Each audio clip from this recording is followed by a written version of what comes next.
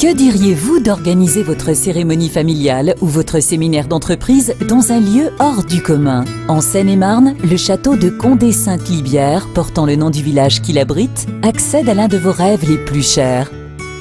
C'est dans un parc de 3 hectares que s'érige ce très bel édifice du XVIIe siècle. Si son élégante architecture et ses appartements de charme ont été conservés avec le plus grand soin, la demeure s'est adaptée à son temps afin de vous recevoir dans un confort absolu.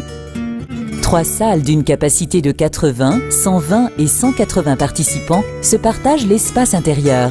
Chacune d'elles accueille vos invités dans le faste et le luxe et permet de configurer l'événement de votre choix.